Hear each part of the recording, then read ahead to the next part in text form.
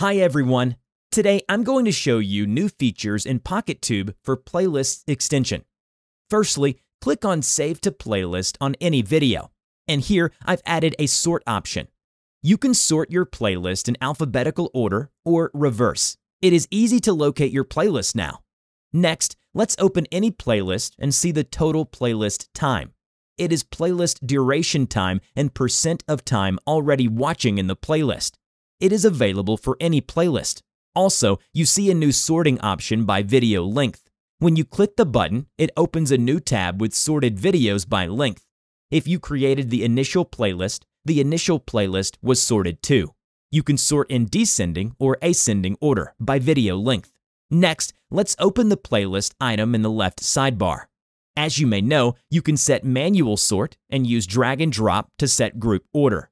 However, you can order playlists too. Open any group, next click Set Order, and now you can drag and drop playlist in the group. After saving, the playlist order in the group was updated in the left sidebar.